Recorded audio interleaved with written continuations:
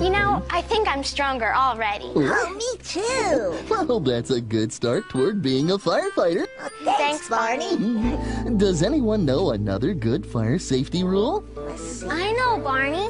Be careful around hot things, like the oven mm-hmm. or a campfire. That's right, Kim. I'm glad you reminded us about being careful, Barney.